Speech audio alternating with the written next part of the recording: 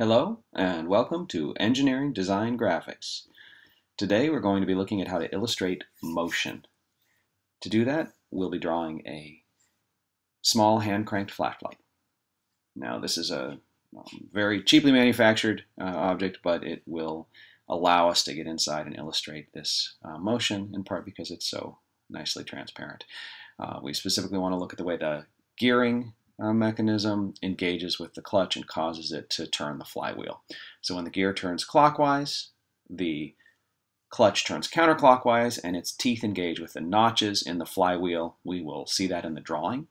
And when the uh, handle retracts, the gear turns the other way, um, the flywheel disengages its teeth and um, resets to its start position. Now, I'm going to show you three different ways to illustrate motion today. The first is the most common and simplest, um, and keeping it simple is very important when we're showing things in motion because we're asking the viewer of the drawing to fill in the blanks. Um, because of course we can't show the motion itself, we have to indicate symbolically or in some other way uh, the motion. So when we draw the, the clutch, we're going to, just going to draw the clutch mechanism itself and the way its teeth engage with the flywheel. Um, we use arrows to show the directions of rotation. Uh, in this case, when the clutch turns counterclockwise, the flywheel also turns counterclockwise. And this brings us to why we need a second way of showing motion, namely frames. In the first frame, we show the clutch engaged. Uh, in this case, we use some leaders with text to call out the parts of the mechanism.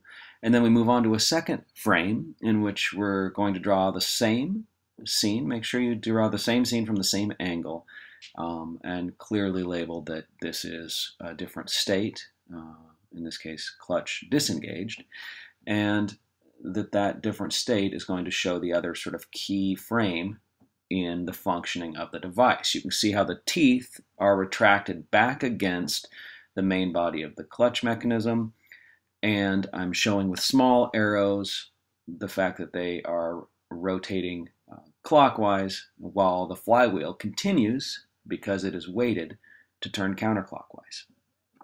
So that's how that works. Now, often we will find that it, we don't have enough um, information in a simple drawing, particularly just with arrows, even with frames. Uh, that, or we may have a very complicated mechanism that we don't want to draw over and over again uh, with multiple frames. So we need a way to show motion that is more economical, um, that can use just a single drawing that we were making of a particular subject. So with this drawing, I'm going to draw the entire flashlight uh, in a section view using a dashed line to show where the primary gear is over the top of the thing that I actually want to draw, uh, namely the clutch mechanism and the way uh, it rotates. When it comes time to show motion, I'm going to show motion using phantom lines. Now remember, a phantom line is a long dash with two shorts. Um, it shows things that are not uh, visible, uh, but are nonetheless part of the mechanism that we are designing. If you remember the two keyframes that you worked out when you were drawing the frames, you're going to use those same two positions here um, and try to make as clear as possible the functioning of the device through your choice of where the, the two positions are that you are illustrating. You will very rarely want to illustrate more than two positions uh, because the uh, drawing can get muddy and confusing very quickly if we have multiple phantom lines. For the same reason, when we draw phantom lines, we don't want to draw the details of the particular objects that are phantomed. Uh, we want to just draw the outline of the object so that the drawing doesn't get too confusing. We're really just showing the object in a different position, indicating that position without indicating all the features of the object. We rely on the visible lines of the first position to show that.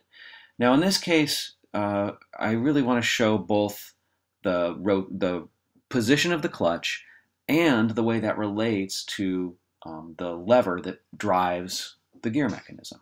So I'm going to have to draw a little more detail in with the gear and then after that to draw the way that handle um, applies force and impels the whole thing in its rotation. So the handle uh, is connected to a rack, which is sort of a linear gear. Um, and that rack drives down and turns a small gear uh, located right at the axle of the large gear.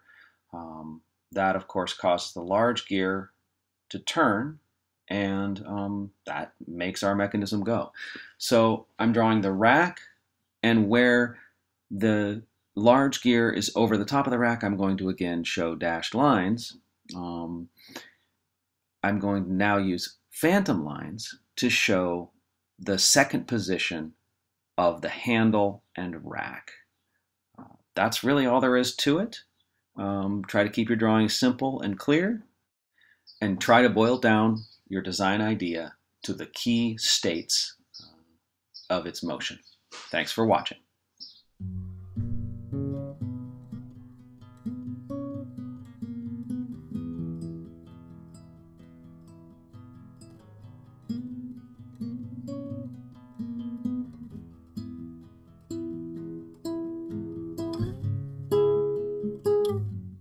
Clip is protected under a Creative Commons Attribution Non-Commercial No Derivatives 4.0 US license. That means feel free to share it all you want, but please don't sell it or change it.